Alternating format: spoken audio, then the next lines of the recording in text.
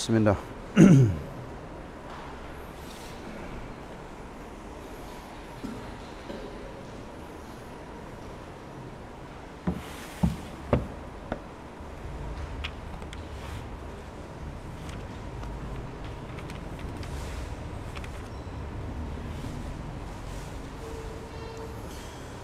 بسم الله الرحمن الرحيم. الحمد لله رب العالمين. والصلاة والسلام على رسول الله صلى الله عليه وسلم وعلى آله وصحبه أجمعين أما بعد Saudara yang dikasihi sekalian Assalamualaikum warahmatullahi wabarakatuh Alhamdulillah kita banyak bersyukur kepada Allah Subhanahu wa taala pagi hari Jumaat 13 bulan Syaban tahun 1445 Hijrah bersama eh dengan 23 bulan 2 tahun 2024 2597 kita masuk di dalam hadis-hadis uh, tiga perkara ingatlah dan hafazlah. Hadis yang ke-32 pada pagi hari ini. Tiga jenis kuda. Yang Nabi cerita di dalam hadisnya hubungnya dengan kuda uh, belum pada nak masuk di dalam hadis ni. Kuda ni Allah Taala royak juga di dalam Quran. Iaitu surah wal adiyati dhabha. Yang selalu kita baca boleh jadi kita tak tengok makna dia kata eh gapo mak maksud? Jadi belum pada nak baca hadis kita tengok tiga ataupun uh, berapa lima lima ayat di dalam Quran yang Allah Taala firman wal adiyati dhabha demi kuda perang yang tengkas berlari dengan kedengaran kencang nafasnya. Iaitu Tuhan wi kita gambar kuda apabila dia lopak derah ia cucum ataupun gilawe seteru sampai ke nyawa kuda pun Tuhan royak di dalam dalam ayat dia. Fal muriyati qadha serta mencetuskan api dari telapak kakinya. Banding supaya api kecil-kecil dia tubik puh puh puh puh puh puh puh kat kaki dia. Walaupun taklah sebenarnya tubik api di kaki. Nah tapi ini menunjukkan bahawa kuda yang diguna untuk berperang dan fi sabilillah.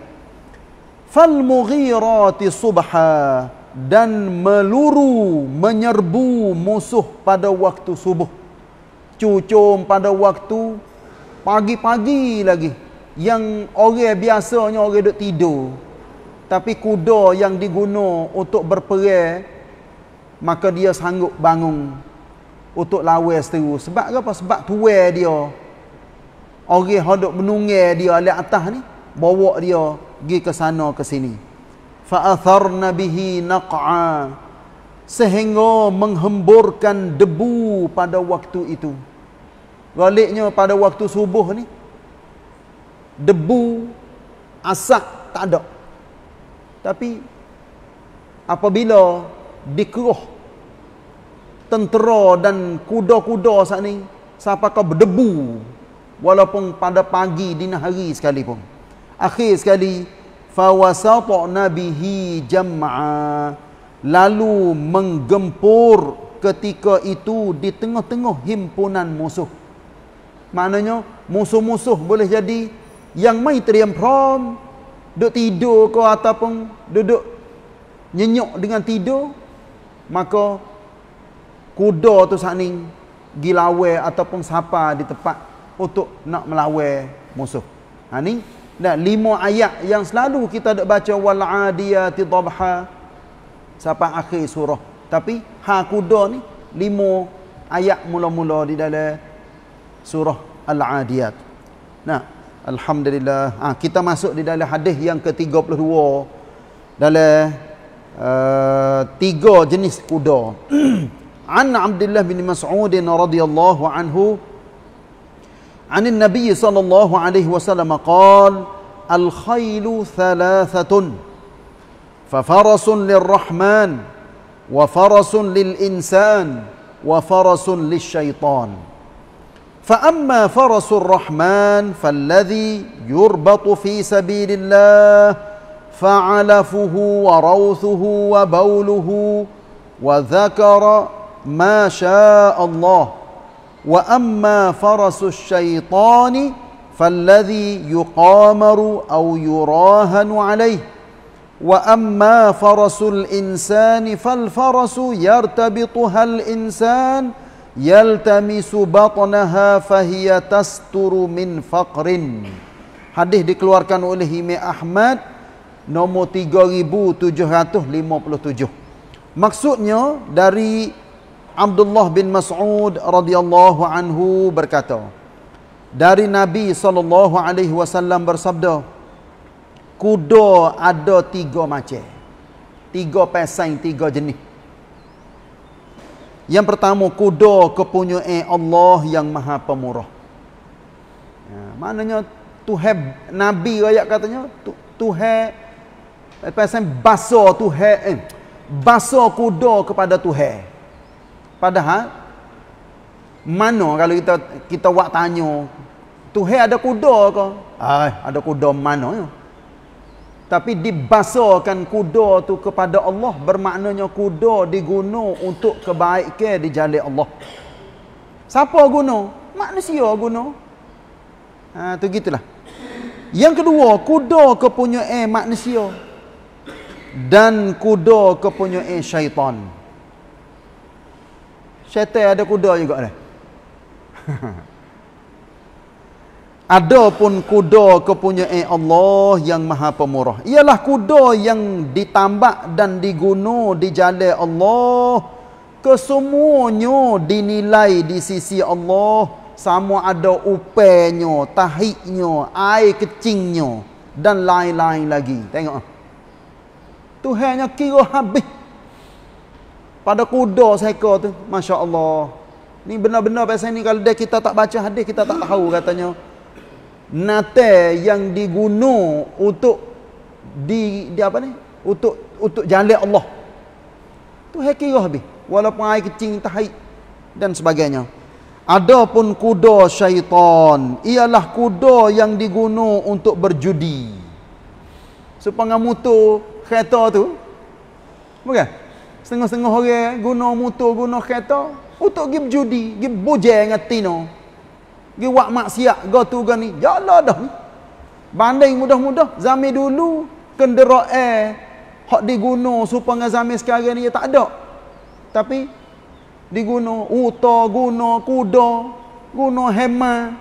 Pas tak ada ke orang guna kuda untuk judi, untuk berzina pada zaman dulu? Ada. Masya Allah diguna untuk berjudi atau bertaruh perlombaan hidup lain kan panan go tu go ni go tu go ni dan sebagainya. Adapun kuda manusia. Ha, kuda manusia ni maknanya kuda tu apa ialah kuda yang ditambak ataupun diguna oleh manusia yang ia diusahakan untuk memenuhkan perutnya. Ha, gitu. Sama ada tuai kuda ataupun kuda tu sendiri diberi upah bui bui bui bui. Untuk apa? Untuk perhiasan untuk nak gemuk. Ha tu tak? Dengan makan ni maka dia bersembunyi dari kefakiran. Maknanya orang yang guna kuda saat ni dia guna untuk boleh jadi untuk cari makan ataupun untuk perhiasan untuk co untuk gapo maka boleh adanya raidai. Dah kepada tuwe tu ataupun kepada kuda boleh makan boleh uh, apa kenyai perut dia dan sebagainya ha ni kita gambarlah katanya tiga jenis kuda yang nabi royak di dalam hadis apa tu saya baca di dalam awal surah al-adiyat gambarlah katanya semua yang ada atas muka dunia ni walaupun kita tengok kita mongkam dia kita mai mai ห็นค่า yang ada pada benda-benda tu tapi di sisi Allah Taala ada guna supaya minyak setiap titik minyak yang kita bubuh dalam taki minyak motor kita kereta kita kita pergi ke tempat-tempat yang Allah Taala suruh dan menyebabkan kebaikannya timur banyak. Maka setiap minyak yang kita duk bubuh 50 kok, 100, 1000 dan sebagainya adalah dikira dinilai di sisi Allah Taala kereta-kereta kita, mutu-mutu kita diguna, di, di, di, dikira belakang. Alhamdulillah. Yang ke-33. Tiga perkara menjadi sebab kejayaan. An Anas bin Malik radhiyallahu anhu qal, qala Rasulullah sallallahu alaihi wasallam, "Thalathun munjiyatun khasyatullah fi sirri wal alaniyah." والقصد في الغنى والفقر والعدل في الرضا والغضب hadis ni dikeluarkan oleh Al-Bazar nomor 1491 maksudnya dari Anas bin Malik radhiyallahu anhu berkata sabda Rasulullah sallallahu alaihi wasallam tiga perkara yang menjadi sebab kejayaan. Ha, ni kita pun cuba ambil belaka dah walaupun kita boleh amal tak boleh amal tapi kita terima. Inilah tiga perkara dan walaupun ada benda-benda lain banyak lagi yang menjadi kejayaan di dalam kehidupan setiap manusia. Yang pertama takut kepada Allah ketika sembunyi dan terang-terangan. Ha. ha ni kita jadi takut sokmo, takwa sokmo kepada Allah. Saya selalu ayat katanya takwa ni dia duduk di hati.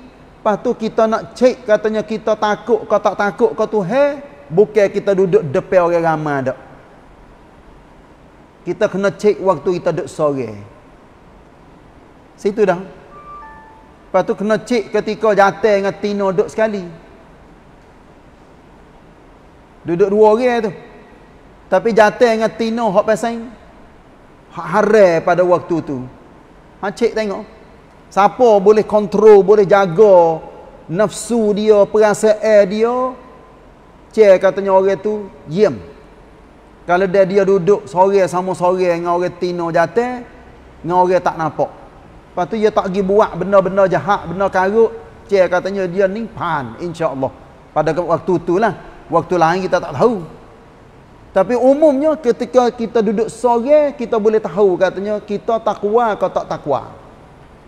Ha, ini bubuh kanan, bubuh markah kepada diri kita sendiri. Nah. Yang kedua, rasa mencukupi dalam hal kekayaan dan kefakiran.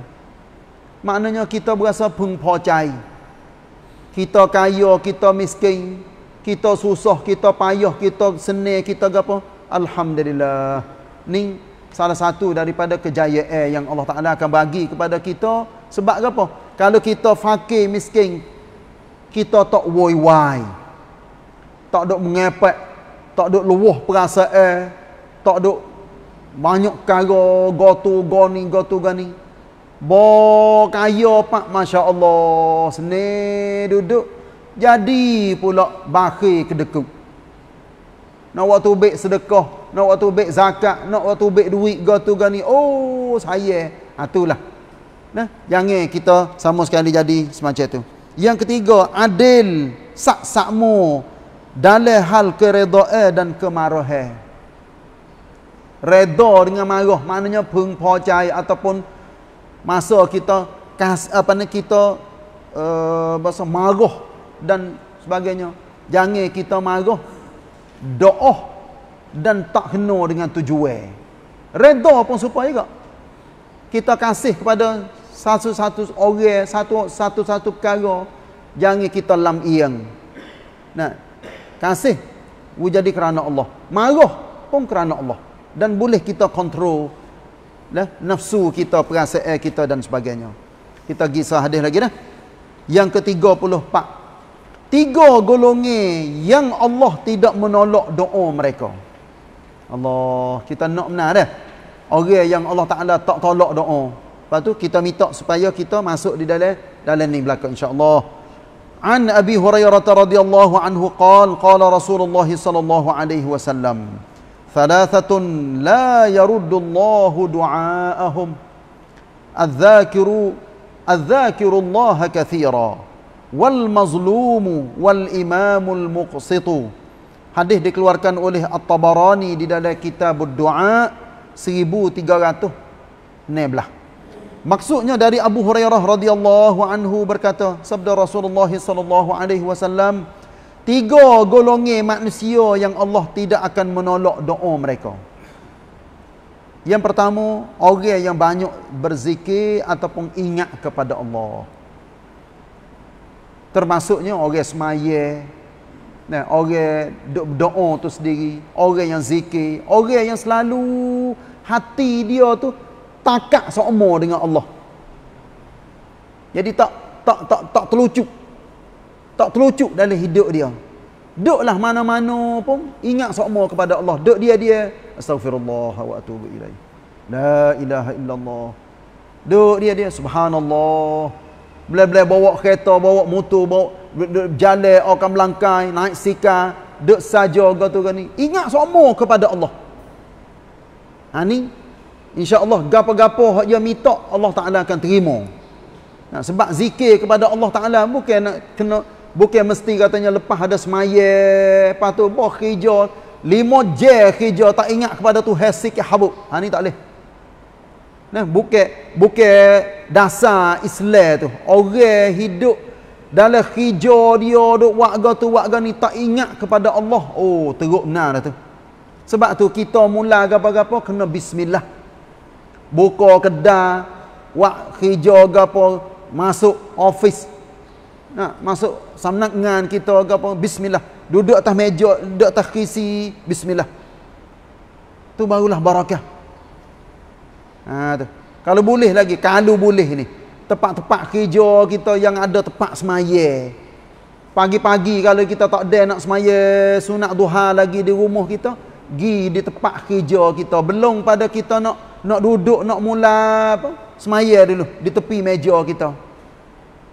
Tepi tempat-tempat kita kerja semaya Allahu akbar. Sudah semaya pak doa ya Allah jadilah barakah kerja aku pada hari ini muredakanlah gapo yang aku buat gapo yang aku usaha. Jadilah tiap-tiap kara molek belaka kepada aku dan kepada orang ramai dunia sampai ke akhirat. Ha ni katanya orang dia lagu tu orang tu orang berjuru orang baik Gapo hak dia minta Allah Taala akan terima. Banyak orang yang boleh jadi dah. Saya tahun kampus semula. Boleh jadi sebahagian orang tak faham katanya ingat kepada Allah, zikir kepada Allah.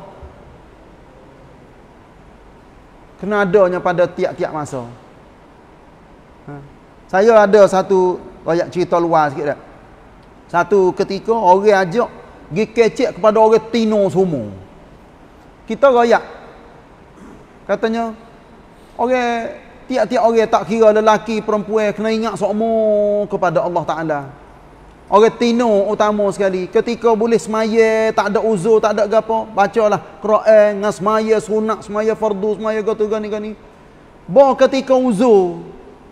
Ketika uzur nak pergi semaya tak boleh? Baca Quran betul-betul mengikut pendapat kebanyakan ulama katanya baca Quran adalah dilarang bagi orang perempuan. Tapi zikir boleh.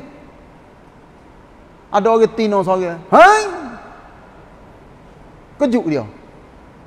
Gitu ustaz. Ya raya katanya dia ni umur dekat-dekat dengan tujuh puluh dah. Uzur pak tu pakai pit lalu dah. Katuk hati, katuk mulut. Tak ada zikir, tak ada apa. Sebab apa? Ya faham katanya. Tak boleh zikir. Kita kata, eh ruginya. Lepas tanya dia, mak, berapa hari mari uzur? Dia kata, tujuh lapis hari tu cerak nak nak, nak, nak bulan. Oh, dia kata, ya pit pak. Top Tak ada zikir, tak ada. Walaupun gapo-gapo, ha zikir, ha Quran, dok dok langsung. Sebab ya pahal lagu tu. Ha ni sebab itulah kita dengan Allah Subhanahu Wa Taala jadi zikir sokmo ingat sokmo tak kira lelaki perempuan duduk mana pun Nah, insya-Allah. Orang yang banyak ingat kepada Allah, orang yang dizalimi. Ha ni yang kedua, orang yang kena zalim. Sama ada dalam peperangan ataupun dalam hidup dia dia kena buat nyanyi ke orang. Ha ni Allah Taala akan terima doa dia. Dan akhir sekali, ketua yang menegakkan keadilan dan kebenaran. Ya payah kita nak cari lagi ni. Orang yang jadi pemimpin, Pemimpin doa kepada diri dia, keluarga dia dan kepada rakyat dia. cuba kita tanya, minta maaf ni dah. Berapa orang tu email, berapa orang naik amper, berapa orang puas racikan cangwat doa kepada rakyat dia. Berapa orang raja-raja, menteri-menteri doa kepada rakyat dia. Masya Allah. Allah Alam kita tak tahu. Tapi, tak soalan katanya, pemimpin ketua yang menegakkan adilah, yang doa, yang apa, baik. Semua tingkah laku dia, kerjaan dia, adil. Walaupun skop sama pun tak ada korupsi, tak ada menipu. Payah kita nak cari orang-orang pasal ni. Di dunia sekarang ni, banyak ke kan, bopah boleh khisi, mula lalu. Mula lalu dah. Nak mula korupsi, mula menipu kerongkan, mula menipu duit, nak masuk dalam poket, nak masuk dalam duit. Apa nak banci bining, banci anak koli, go tu, go ni. Allah Akbar, banyak. Sebab tu, kita tengok orang-orang kafe umumnya lagu tu lah belakang. Pas nak pergi teruat banci, teruat apa nama, dia mau buat wisiak belakang dah, dengan baisit, dengan raingan, dengan apa, long tua. Kalau siapa-siapa pergi cek, pergi teruat sop, hmm, kena belakang. Molek belakang. Pas orang-orang Islam kita pun ada juga macam tu. Ada main benar-benar haram, makan benar haram, duit haram, puapan dengan benda-benda yang dilarang oleh Allah Taala. Sebab itulah Nah, kita apabila kita baca hadis, baca ayat Quran, kita kena jadi meresak, mesra masuk di dalam hidup kita. Insya-Allah, gapo baik kita amal, gapo tak baik kita usaha jauhi perkara-perkara tersebut. Itulah sekadar ni nah untuk pagi hari ni dan esok saya minta cuti satu hari. Wallahu a'lam. Wassallallahu ala nabiyyina Muhammad wa ala alihi wa sahbihi wasallam. Wassalamualaikum warahmatullahi wabarakatuh.